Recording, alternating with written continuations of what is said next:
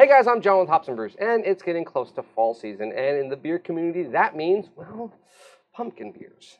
And I know what you're thinking, I know what you're thinking. Not a lot of you are probably big pumpkin fans. Some of you are, some of you aren't. And the ones that aren't, though, what if, what if I told you I had a pumpkin beer that was 17 and 18% in alcohol? I'd give that a try. Yeah, I would too. So let's check out Avery's Big Pumpkin Beers.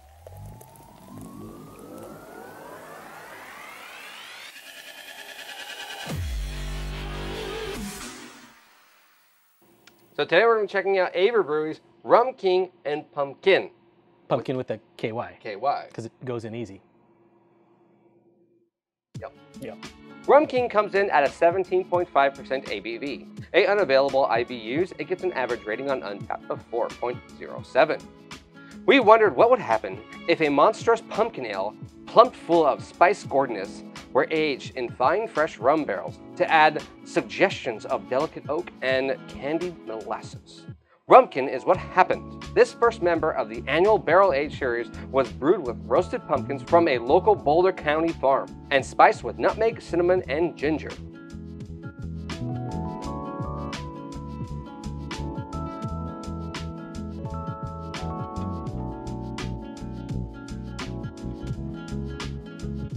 All right, so we're gonna be checking out the Rumpkin first. Yeah. Ooh, No, I didn't even have to smell this. I, as I was pouring it, I can smell the rum. yeah. I- it's mean, big rum. it's interesting too. Like the, the head's gone. The yeah, head would yeah, just went away. It was just went away very fast. That means it's going to be like big, thick. I think so. mouthfeel. I think so too. Let's check it out. All right.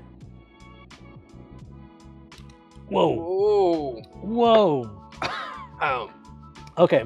Yes, you taste you taste rum right away. you taste. ru- It's not. It's actually pretty good rum. it's pretty actually. good. Yeah. It's you, you taste like that, that candied rum flavor almost. I almost thought this was a barley wine. That pumpkin, the pumpkin spice is at the back end. Yeah. After you sip it, you take a sip, you're like, oh, this is rum. Yeah. It almost tastes like a flavored rum. So if Bacardi did a coke or a pumpkin, pumpkin. It would be like this. yeah, it's super thick, like candy, Mm-hmm. like Belgian candy. Yep, very much Um, so. Yeah, the malt just gets you first. It's all those big flavors get you right up Mhm. first, and and then there's, oh, I do taste pumpkin spice, Yeah.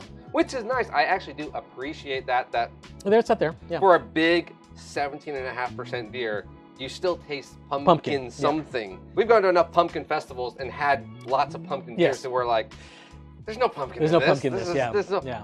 Well, that's the thing that I always find a weird pumpkin. What, what is a pumpkin beer? Did, Yeah. did they put pumpkin in it? Well, if you just put pumpkin in it, pumpkin really doesn't have much of a flavor. No, I mean it's just a, a yam with sugar. Yeah, it's just It's like yeah, yeah. potato and sugar. Right. Yeah. It's like there's not much there. Um, so it doesn't really add that much flavor complexity to it. It's when you add those spices that you are used to when you have a bite of pumpkin pie. Yeah, uh, most people equ- equate uh, pumpkin beers to pumpkin pie. Pumpkin, flavor. yeah. So it's really just pumpkin spice. Yeah, it's, it's more it's here. more like nutmeg, clove, cinnamon, ginger esque, and some sweetness. all, allspice. I think. Allspice, yeah, Some sweetness. Yeah. Some and some kind of a sweetness. Usually, you're wanting a sweet malty back end, um, which this has. This tastes like a shot of sweet Yeah. spiced rum. Yep. And I had a bite of pumpkin pie, Mhm. like either before or after it. That's that's a pretty apt description because that's kind of what that is. Yes. if you find this, you have to share that because there's no way you would be one extremely plastered by the end of the thing, but you'd also be sick of the flavor because Oh, it is yeah. a little on the sweet side. no, that's why when I opened, I was like, I, I'm glad you're here. Yeah, 'Cause, yeah, I like, I know. I, There's- I wouldn't want to drink this at night and be like, oh, I gotta go to work the next Yeah. day. I mean, this would be like you get this for Thanksgiving or something like that, and instead of having pumpkin pie, have this. Yeah. I'd be all for Oh that. yeah, yeah. This, That would be that would be uh, that would be fun. But I'd Yeah. like, uh, I mean, like six ounces is probably the most I ever want of this at any given time. But I do actually really like it. I do. It's really good. It's a good flavor experience. Um, definitely something to share. yeah. but it, but it, it's a pleasant Yeah. experience. Yeah. Hmm.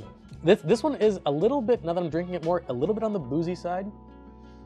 I told you I tasted it. Yeah, yeah, it's a And little this on the is, side. this is the lighter of the two. Oh man, I don't know what to do the next one. well, let's find out. All right, pumpkin with a KY comes in at an 18.8 ABV and an unavailable IBU. It gets an average rating of 4.25. What is in a name? Sometimes the simplest can be the most descriptive, and in this case, derisive and divisive.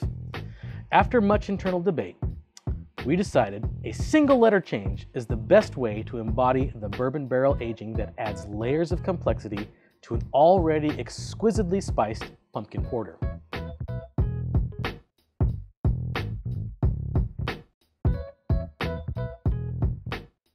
All right, so let's check out Avery's pumpkin with the KY. KY, yes. Let's see how easy it goes down.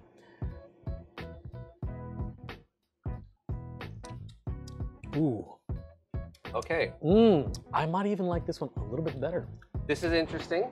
It's, it's sweet. Sweet Yeah, again, it's sweet again. it's- again. It's, sweet. Yeah, just like last. 18.8. It is definitely boozy. It's booze. You know, I, I don't know. I think I tasted more alcohol In the last In one. In the last one. Hmm. Um, it's still sweet. Yes. It's um, but not as malty. I don't know. It was different. The other one tasted like rum. Yeah.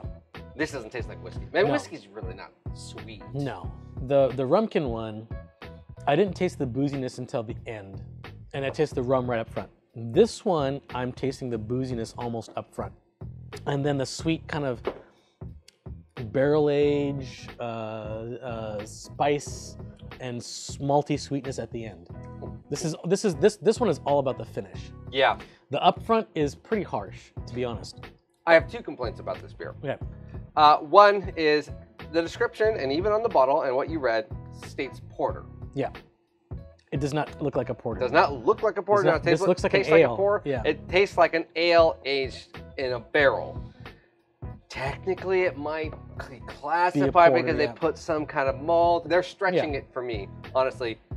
Two, this is supposed to be a pumpkin beer. I do not taste any pumpkin like I did in the last beer. Yeah, this is this is definitely more sweet. This tastes mostly like a bourbon barrel aged or a whiskey barrel aged beer, mm-hmm. and there are some spice notes at the end. I do taste that. But I equate that more to the barrel aging, not like, oh, they added pumpkin to this, pumpkin spices. Yeah, I don't know. It just had- tastes, I don't know, sweet. It's very boozy and it's very sweet, and then the very last note that you get is some mm, some spice, Spice. notes. It's like almost, we just threw a dash of allspice. yeah. But I kind of like the other one. I, You think you like the other one? The, the I do like the other one in the fact that you tasted the rum right away. I thought I liked the rum right away. I like the fact that I could still taste and say this is a pumpkin beer. Yeah. I think this is a really good beer.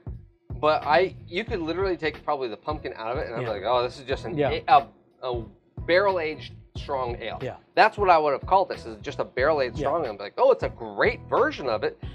The pumpkin, I don't know. This is this is definitely for me anyway. This is very boozy. If somebody likes whiskey, maybe this would be something for them. It's it's a little too frilly though. It's it's got a lot of um, sweetness to it. Well, I mean, like uh, this is this is actually probably like more like a cognac. Yeah, maybe. You know, like a A like a, dessert. a dessert. Dessert. It's very sweet. It's very sweet. If you, if you want a more prominent uh, pumpkiny spice type beer, definitely go for the Rumpkin. This one is more of your traditional, just big, boozy, whiskey barrel aged Yep. with an afterthought of a pumpkin spice. At the Yes, I would agree with that. Yeah. So if you are looking for a pumpkin beer, or you know someone that doesn't like pumpkin beer, you know, you might want to check out one of the Avery ones because I bet they have something that'll tingle or fancy either one. If you don't like pumpkin beers, but you're like, hey, it's got high ABV, go with the pumpkin Yeah. with the KY because it goes down pretty easy.